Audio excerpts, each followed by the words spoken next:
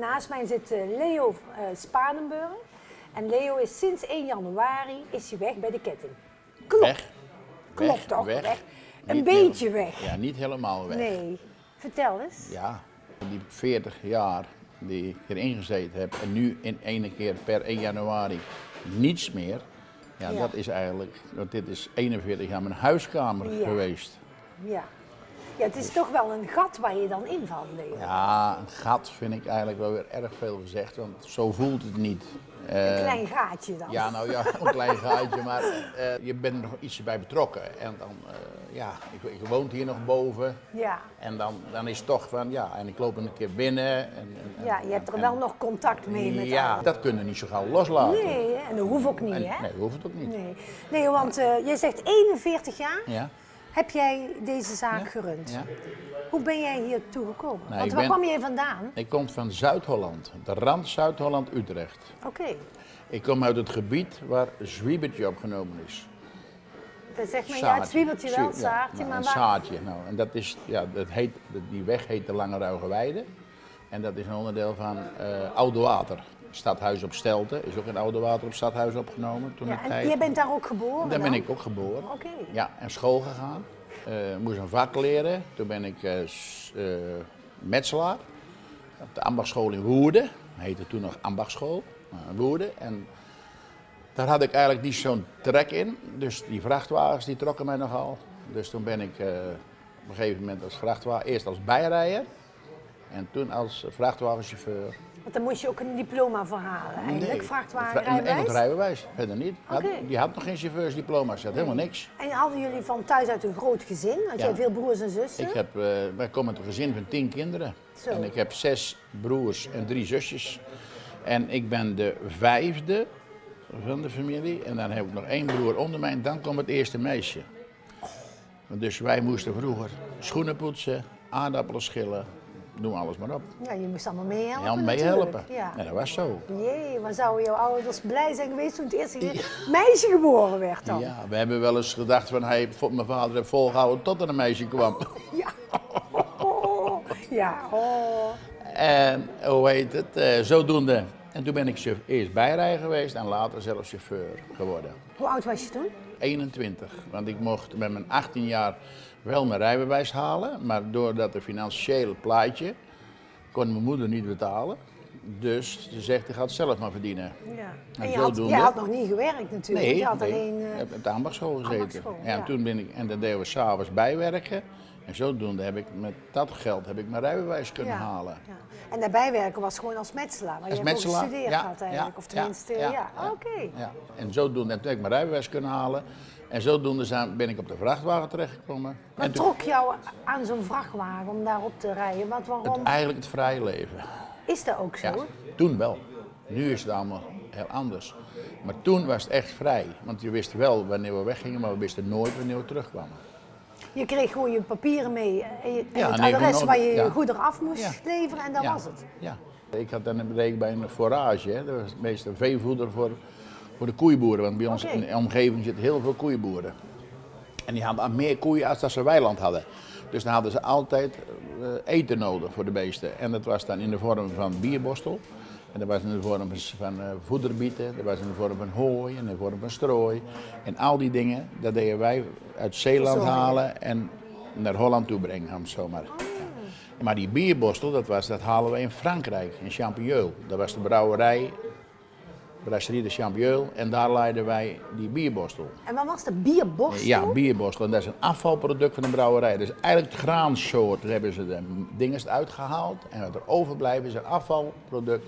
En dat ging allemaal naar de veeboeren in En Holland. waarom helemaal in Frankrijk? Want dan zou je toch zeggen, je kunt hier bij de Heineken en zo ook halen. die, maar daar, daar zat die baas van mij, die zat daar niet tussen. Oh, want die kon er niet tussen komen, want er waren andere mensen. Oh, ja, en dan via via. En dat was handel. En in het begin gingen wij gewoon, ja wij zeggen dan in de volksmond leeg op. Dus een lege vrachtwagen, daar laaien en dan weer terug. Maar later, toen ging het natuurlijk allemaal wat vanwege de kosten. Dan ging het, gingen we dingen meenemen. En dan was om, eh, voor de tuin de spotgrond. in Die nam jij mee al Ja, daar naartoe? Daar naartoe, en dan lossen. Ja. En dan gingen we weer leeg weer door naar de fabriek. naar de brouwerij en dan gingen we weer bierbostel halen en dan gingen we weer naar Holland. Ja. Lijkt me ook wel leuker, hè? Dan wordt je gebied Ja. ook alweer groter Ja. om, om te komen Ja. natuurlijk. Nou ja, en we waren natuurlijk toen, ik ben nog, nog, nu nogal ondeugend, ondeugend, maar toen waren we ook erg ondeugend. En dan zaten we altijd buiten de wet te werken. Bij het rijtijdenbesluit. En we hadden een werkboekje. Dat werkboekje moest ingevuld worden. Maar, Als je vertrok of ja, eh, op van... het moment even vertrok en op het moment dat je weer thuis kwam. In tussentijd, rustpauzes, alles ingevuld worden. Maar ja, daar hadden we eigenlijk geen tijd voor. Dus we deden gewoon maar op de klok een aanrijden. beetje. En als we dan niet aangehouden werden, ben ik wel eens een Maar voor keer... wie moest je er dan bijhouden? Voor, de- voor, de- voor. Dat je niet te veel uren achter... Was dat toen ook zo, al? Ja, natuurlijk. Toen al. En heb ik wel eens ooit een verbaal gekregen. Een proces verbaal in Frankrijk. En dan kwam, dat ging dan via de politie. De dorpspolitie kwam dan het proces verbaal bij mij afleveren, bij ons thuis. Maar ik was nooit thuis. dus dan zei mijn was moeder, wat. ja, hij is er niet, kom maar een zaterdagavond. En misschien kan ze niet thuis is. En dan moest ik dan? persoonlijk aan. Waar sliep jij In die dan? vrachtwagen. Toen hadden wij ook al, toen hadden wij ook al eh, slaapcabines. Het was niet zo mooi als nu. Maar er was gewoon eh, ja, een bed erin, één bed erin. Want we waren altijd alleen. Ja. Dus je was ook echt wel een aantal dagen van huis dan of zo? Wij waren, in, in principe gingen wij zondagsavonds weg en dan kwamen we zaterdagsavonds thuis. Jezus. Toen al, hè. Maar dan wouden we zelf, we waren vrijgezel en dat was een prachtig avontuur. Ja, want wat deed je dan buiten werk? Ja, dan kan je natuurlijk mij nou niet zitten vertellen. Ja, buiten, Die, want je was niet constant op die vrachtwagen, of wel? Jawel, we waren bijna afgesliepen onderweg, gewoon op de parkeerplaatsen.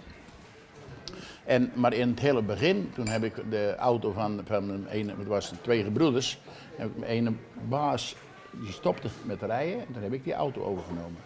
En toen reden we ook nog naar Duitsland en toen ging die baas ging met mij mee, want dan moest ik het leren.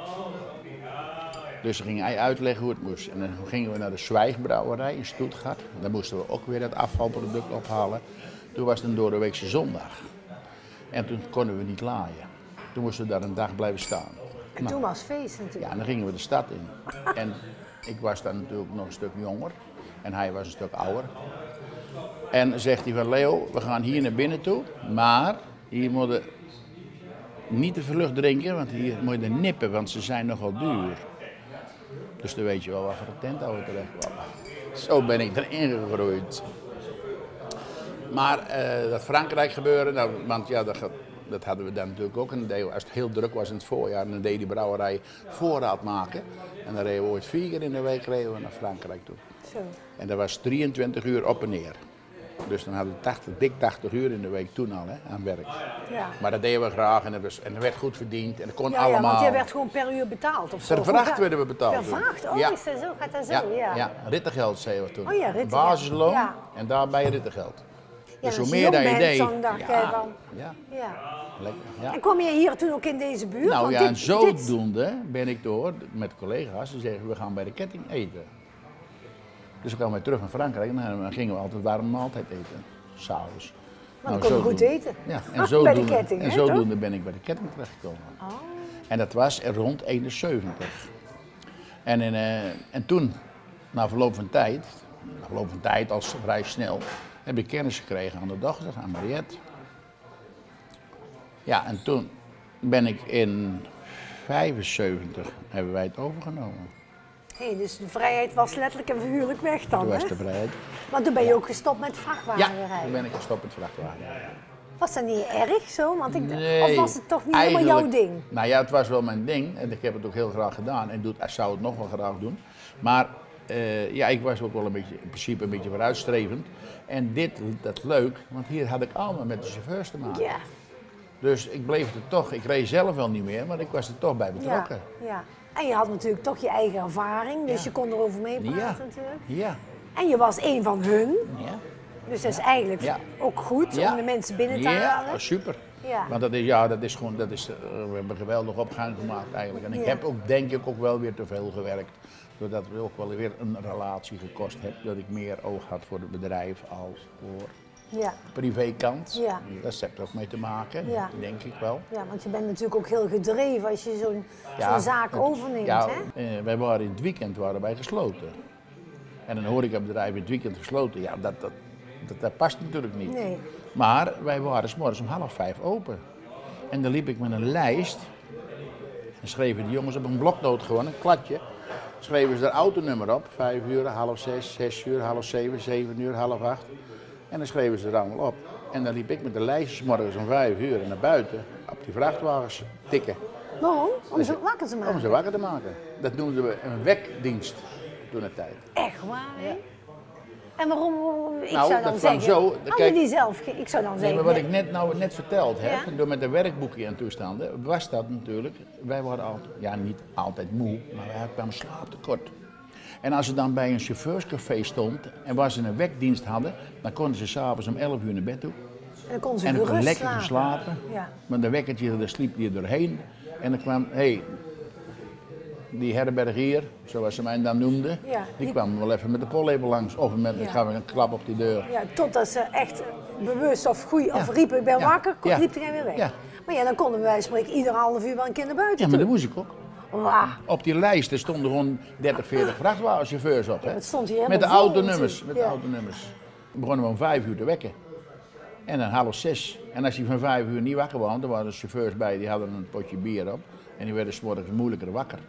En dan rammel ik er weer een keer op, op die deur. Ja, nou is het half zes, hè? Ja, eruit gaan. Wat verdorie. Ja. Je hebt een hoop kindjes hier over de vloer gehad, hè, om ze allemaal wakker te maken. En dan gingen ze eruit. En dan gingen ze- dan en gingen ze hier wassen. Ja, want Ja, toen hadden we nog wel ook al douches, maar dan gingen ze morgens de meeste tijd dreigen wassen. S'avonds deden ze maar hier een douchen. ruimte Ja, voor de hier chauffeurs? achter hebben we daar eh, vier, Oh, hier vier eh, douches. douches, telefoon ja. en eh, toiletten. Nou ja, die gaat de koffie klaar en dan... En die deden koffie- ontbijten en doen we altijd, allemaal, stuk voor stuk. En dan gingen ze weer. En dan gingen ze weer. En dan liep dat de hele dag door en dan kwamen er weer... In het begin, was dat best moeilijk, maar op een gegeven moment kwam er een chauffeur hier om 11 uur. En eh, die kwam uit Noord-Holland vandaan. En die was met ijzer van de hoogovens naar Maastricht. En dan leidden ze in Maastricht leidden ze cement terug. En toen kwam die hier naartoe. Die man die, die reed bijna iedere dag op en neer naar Limburg toe. En die zat dus morgens om vijf uur of half zes allemaal in de lucht. Maar die jongen had het niet zo goed naar zijn zin. Dus die zegt tegen mij, Leo, hoe laat ben jij open? Ja, ik zeg, ben nou om zeven uur open. Dan moet je eerder open gaan zitten. Hij zegt, want wij zitten met z'n allen bij de lucht. En er zat- daar waren er wel twintig of dertig van die mannen die allemaal datzelfde werk deden. Ja, Dan komen wij bij jou, s morgens koffie drinken. ja dat, Dus is, ik handel. denk, ja, Ja. dan gaan we maar om zes uur open. Een half jaar later werd het vijf uur open. Waarom? Omdat al die chauffeurs die kwamen, want die waren vroeg. Ja. En dan bleven ze natuurlijk s'avonds hier ook staan. Dus die moesten om vier uur weg of om half vijf weg. En dan moest er gewekt worden.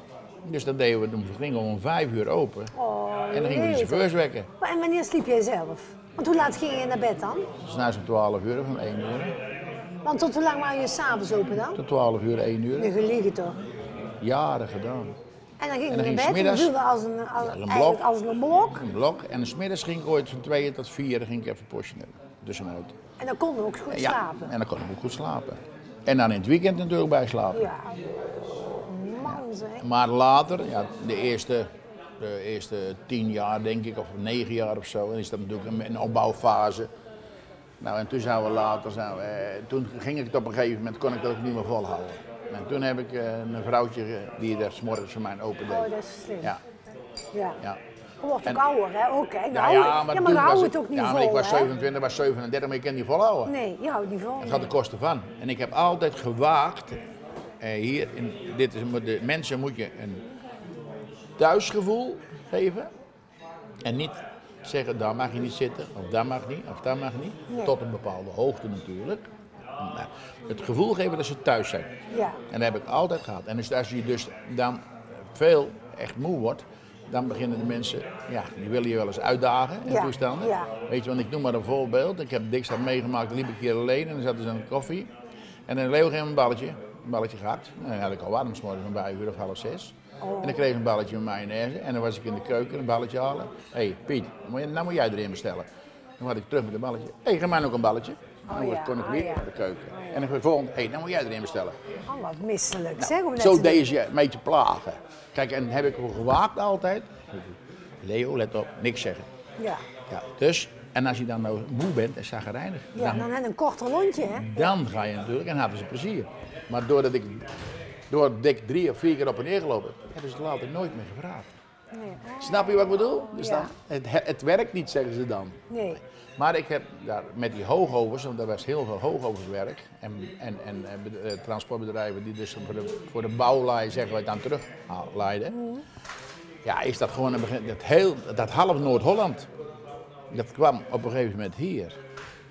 En had ik dus bedrijven van Gomers, die uit Warmhuizen vandaan. Die reden naar Italië en toestanden. Van, Die reden ook bijna om voor jou. dan. ja, die, reden allemaal, ja, die kwamen allemaal. Dat was al een oude weg, hè? Want die weg is in 68 omgelegd. Hè? Ja. Ik zat hier in 75, Ja. 85 zeg maar. Nou, en toen kwamen ze allemaal kwamen ze omrijden. En toen kon ik wel rechtdoor hier ook. Nee, die rondom dus nog niet Ja. natuurlijk. Ja. En dan gingen ze daar bij de Liepse barrière gingen ze erop. Ja. En zo kwamen ze ook terug. Dus ze kwamen om 10 uur, 11 uur kwamen de eerste Ja, ze terug. wisten natuurlijk dat het hier goed was. Dat ze goed, goed te eten ja, hadden en zo. ja, en, nou, ja, en ik had die klik met die mannen. Ja. En ja, dat, Ja, en dat, ze gunnen natuurlijk ook, hè, want dat is natuurlijk dat ook, is hè. eieren. Ja. Maar ja, ik kon, ik, ik, ik, nou, zo'n grote kennissenkring, een klantenkring opgebouwd. Ja. Dat 80% van de mensen uit Noord-Holland, ja, die ken ik eigenlijk. En vrouwen, kinderen. Ik heb, ik heb nog nieuwjaarskaartjes. Ik heb nog ordners vol met geboortekaartjes. Ja, hele families. Ja, Hele dat krijg je. En, en, en bedrijven. En, en nu hadden ze op Facebook gezet van Leo dat ik stopte. En er kwamen er reacties van. Er is zelfs één persoon bij, die ook een goede kennis van mij, daar gaat het niet over uit. Erbij. Nu heb ik toch wel een hele slechte dag. Vanmorgen heb ik eerst bericht gekregen dat V&D failliet is. Nu krijg ik ook nog een bericht dat onze Leo in Brabant stopt met zijn chauffeurscafé. Nu kan ik vannacht helemaal Ja. niet meer slapen. Oh, leuk, hè, ja. Ja, maar als iemand jaren hier komt, is wel vertrouwd, hè? Je had ook veel meer mensen die ouder waren als ik. Dus met 59, met 58. tuurlijk. en die vallen er allemaal af. Ja. Er is natuurlijk wel een heel verschil met de chauffeurs van vroeger, Ja. Ja. toen jij jong was, en nou, hè? Ja. Want, want vertel eens, waar staat het verschil? Nu is de, de, de business is veel meer gestrest en er moet allemaal in zo'n korte uren strakker. Dus en nu, ja, maar toen was het helemaal vrij. En dan gingen, wij wisten wel wanneer we weggingen en we nooit wanneer we terugkwamen. Nee. En er zei ook niemand tegen mij zeggen van, joh, waar, heb ik- waar ben je geweest? Ja. Toen de tijd. Maar je moest je werk wel doen, Ja. op een heel andere manier. Ja. We konden gerust een uur blijven zitten hier op plaats van een anderhalf uur. Ja. Dat is er niemand. Maar je moest wel, je, je moest wel nog weer lossen en dan was dat s'avonds om tien uur. Dat maakt het helemaal niet uit. Dat kon. Ja. Maar dat is tegenwoordig allemaal niet meer. Nou ja, ik heb hier, toen ik hier nog in zat, heb ik mensen meegemaakt die zo'n 74ste gereden. En die was denk ik toen de tijd 7, 68. Ik kwam s'avonds hier ook om, om eh, 7 of om 8 uur en een een fles bier. En dan een kop groentesoep en een uitsmijter. En dan ging die naar- weg en dan ging je lossen. En s'morgens om 6 uur was je weer terug en had hij weer het hoogovers gelaaien. En dan waren mensen van 60, 70 jaar toen het. Ja, die zijn er ook niet meer, daar gaat niet over uit. Maar zo, dat kon. Ja. En die waren wel eigen rijers. En die Ja. hadden dan ook ja. De, de druk. En de Ja, natuurlijk. Hey Leo, en, en eh, net zoals die, eh, die cabines van Ja, die vrachtwagens, die zagen er vroeger natuurlijk heel anders Ja. uit als nou. Dat was, dat was gewoon een vrachtwagen en, en, ja, En een slaapplaats, en een slaapplaats met een slaapzak. En dat was allemaal een beetje ja, provisorisch. En dat is natuurlijk allemaal wel, ieder stapsgewijs is dat beter geworden. Ja, want hoe ziet het er nou uit, een moderne nu, vrachtwagen? nu, maar nou is het net een huiskamer. Dus als je dus bij de chauffeur... Hoezo een er huiskamer? is toch gewoon een cabine? Het is wel een cabine, maar er zijn auto's bij, vrachtwagens bij. Als je de chauffeursdeur open doet en je kijkt erin, kijk je al tegen een beeldscherm aan. Die hebben ze er bovenin al ingebouwd. Standaard. Dus er zit, hebben altijd televisie bij. Er zit een laptop in. Er zitten opwarmers in voor de koffiezetapparaten. Er zitten koelkasten in. Er zit eh Magnetrons. magnetron. Standaard in de nieuwe auto's tegenwoordig. Dus die dus- krijg je ook niet meer binnen, zo'n Die krijg mensen. je natuurlijk gewoon minder weer. Maar heel, heel de gezelligheid, want wij hebben hier aan deze tafel natuurlijk, ja, dat, dat, als die tafel komt praten, dan Oh, die zal, eigenlijk moet ik met deze tafel eens gaan. eigenlijk Ja, wel, ja. die heeft ja. wel heel veel En die verhalen gehoord. altijd vol. Altijd vol. En of het nou voetballen was, of dat het was... eh, altijd. Maakt niet uit, ja. Maakt niet uit. En dan carnaval, kermis. Waar je, is- je naar Bellevue toe, dan heel de auto vol. Om zeven uur bracht ik ze al weg. Want hij is hier nooit geweest. Nee, Dit ja, is echt een chauffeurscafé, nee, ja, hè? Maar we hebben hier wel carnaval, maar we hebben hier best wel veel etens gehad door de jaren heen. Die gingen eten, natuurlijk. Ja. Ja. En dan gingen ze eerst, zoals jullie vader en moeder, Ja. Zo, en eh, ja, noem ze maar op. Jullie waren als prins geweest natuurlijk. Nou, En die gingen hier dan eten Ja, en ik heb eh, jaren, jarenlang eh zondagsmiddags na de optocht de Prinsenclub hier ten eten gehad. Maar Ja, leuk. ja. ja. En, en, eh, maar met die chauffeurs ook, hè, die vonden het ook prachtig natuurlijk boven de rivieren vandaan. Die gingen mee, Oh ja. die gingen mee hier eh, carnaval vieren. Oh, Ja, ja. ja. Toch een heel andere tijd, hè? Een heel andere tijd. Ik heb één keer meegemaakt, want daar hadden toen, daar was nog geen telefoon. Hè, dus alles ging via de telefoon. Ja. Die planners die belden ook op van, wat, is, je, is Pietje al geweest of is Klaasje al geweest? Want die konden ze niet in de auto als ze bij de fabriek wegreden. Daartussenin was er even een poosje niks. Ja. Maar er waren chauffeurs bij, die was de vrouw van bevallen. Maar ja, die moesten toch werken, want je kan niet zomaar zeggen, die blijft thuis. Nee. Nou, dan gaven ze het telefoonnummer van een café op. En dan heb ik s'nachts één keer meegemaakt dat die vrouw begon. En dan ben ik naar buiten gegaan, heb ik die chauffeur wakker gemaakt. Die is met mijn luxe auto naar Noord-Holland gereden. naar zijn vrouw. Oh, Dat is één keer gebeurd. Ja. Het zijn wel mooie dingen toch, hè? Dat je dat ook doet, hè? Mooi, ja, ja, ja. Mensen vergeten dat nooit Nee, dat je zoiets nooit. doet, hè? Nee. En ook voor wij is dat wel een kick dat je dan ook Ja. dat kunt doen voor iemand anders, ja, hè? zeker. Hartstikke leuk. Goh. Hé hey Leo, en, eh, en nou? 20 en 25 jaar geleden heb ik, eh, via via ben ik in de Friespark terechtgekomen. En daar heb ik mij een beetje in verdiept, in bloedlijnen en zo. En dat vond ik zo leuk, want heel vroeger heb ik, eh, als jonge jongen zijnde, in de boer, bij een boer gewerkt, gelopen. Hè, koeien leren melken. En die had ook een paard. Dus daar werd werk mee gedaan. Dus dat was een bruine vos. Nou, en Dus je dat- bent wel een beetje Ja, en- bekend. en maar je, vader. hebt nooit gereden. Nee, Als je jou op een Nee, paard nee, nee, zetten geen dan... dressuur of zo. Nee, Nee, ik, heb, nee. er- ik heb er maar één keer op gezeten. Ja. Anders nooit, voor de lol. Ja. Maar ik doe wel mennen. Mennen? Mennen, ja, met karretje rijden. Oh ja, natuurlijk. Ja, leuk. Die, Ja. die diploma's heb ik wel gehaald. Oké. En vorig jaar heb ik wel 20 of 25 keer gereden. Dit jaar, afgelopen jaar, helemaal niet. Maar nou ga ik het, nou dit weer, dan ga ik het weer Nou, dan krijg jij weer de tijd. Want hoeveel paarden heb je op dit moment? Eh, ja, als ik met de paarden even meetelt van mijn vriendin, want dat doen we bijna wel samen, dan, Ja. dan hebben we er denk ik een stuk of 17 of 18 of zo. Jee, zoveel. En allemaal uh, Allemaal Friese paarden. Allemaal Friese. Ja. En dan heb ik gewoon in die een, eh, 25 jaar heb ik een, een bloed- bloedlijn opgebouwd. Om daar, eh, Wel een mooie hobby. Maar wel mooi. veel tijd gaat erin ja, zitten. zeven dagen. Ja, want jij hebt hier achter stallen, Ja. achter Ja. de, Ja, op het weiland hier ja allemaal zelf heb ik een schuur staan. Hoeveel heb je er hier nou staan? Nou staan er hier oh, even drie, zes, negen. Zo, heb jij zoveel stallen hier dan? Hoeveel Nee, stallen? buiten. Ik heb, eh, ik Oh, heb even ja? kijken, ja, ik heb loopstalletjes voor de jongenspul. Die staan met z'n drieën bij elkaar. En ik heb eh, vier, even kijken, vijf, vijf, negen stallen. Kan de Fries altijd buiten staan? Die hoeven nooit binnen? Paard moet altijd buiten. Ja? Die zijn, die binnen staan, altijd binnen staan, die worden, die worden ziek, die worden verkouden. Die worden met dek op, die worden vertro- worden veel te veel vertroeteld. Ja. In de modder. krijgt gewoon een wintervacht natuurlijk. Ja. In de modder. En ze gaan, eh, krijgen eten onder het afdak, ze kunnen binnen, tenminste droog liggen. Ja. Nou, en en krijgen brokken, s morgens en s avonds. En ze krijgen voldoende hooi. Nou, ze- nooit ziek, nooit verkouden, niks meer mee. Nee, nee. Heb jij al plannen gemaakt? Nou, Nou ja, ik heb er zoverre plannen gemaakt. Ik heb hier achter dat boerderijtje. bij jouw stallen daar? Ja, bij mijn stallen, ja. ja. Dat is een boerderijtje eigenlijk van vroeger. Dan heb ik in etappes gekocht. Daar heb ik zelf een schuur opgebouwd. Daar heb ik vier jaar aan gewerkt. Omdat ik altijd nog een beetje metselaar geweest ben. Dat is eigenlijk een Noord-Hollandse stolp. Och, wel leuk. Met heb je dat zelf pen. gedaan? Heb je hem zelf gedaan? Zelf leuk, gedaan. Allemaal in de weekenden. Oh. Toen een tijd. En dat is in 97 was dat klaar. Nou, en daar heb ik die stallen in, heb ik een wasplaats in, daar heb ik een zalenkamer in, heb ik een binnenplaats in. Dus dat is Een behoorlijk ding dan. Ja, ja, die is eh 11,5 meter hoog op een punt. En hij is, eh, even kijken, 3, 6, 9, 12. 12 bij 12. In het vierkant. Er staan wel spanten in met gat en pen, weet je wel. Oh ja, ja. Ja, De toekomst is een beetje open en je ziet wel hoe het gaat lopen. zo het gaat lopen. Dat is ook wel relaxed. Jazeker. Ja, dus maar heel- ook wel spannend van. Nou ja, je kent natuurlijk, ja, dit- is natuurlijk een, het is, het is, het is een levens, levenswerk dat je gedaan hebt. Ja. 40 jaar, 41 jaar. Je bent gewoon even een beetje aan het afkicken, Ja, Leo. juist. Je bent een beetje een soort junk die aan het afkicken is van Ben- de gewoonte wat we al die Ja, jaren moeten doen. Het zal toch een beetje heftig zijn. Ja, ja, nee, maar ja, is dit, ja, Ja. Je, je, loopt, je, loopt, je loopt verkeerd.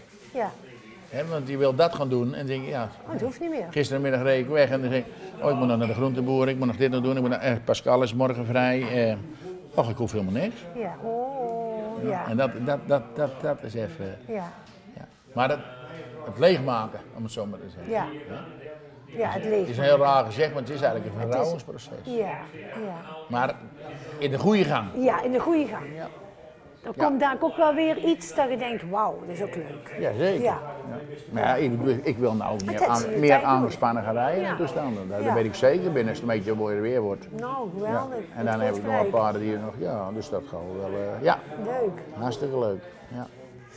Ik eh, wens jou heel veel sterkte, geluk, gezondheid toe. Gezondheid is voornaamste. En eh, ik denk dat wij bokselnaren jou wel een keer tegenkomen. In de kar. Ja. Met twee mooie Friese paarden ervoor. Dat is wel de bedoeling. En eh, ik wens jou nog een heel mooi leven, Leo. Dank u wel. Dankjewel voor dit mooie gesprek. en graag gedaan. Dankjewel.